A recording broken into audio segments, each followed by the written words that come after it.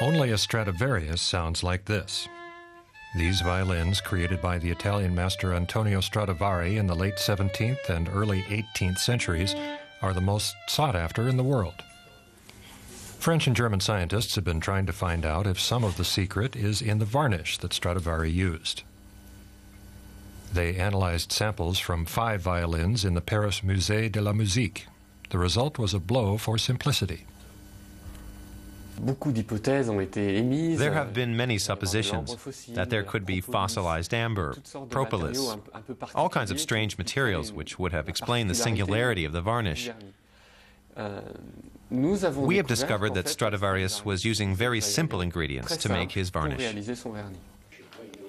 The instrument maker used a mixture of oil, resin, and pigments to coat his violins. But precisely how the master combined these ingredients remains a mystery.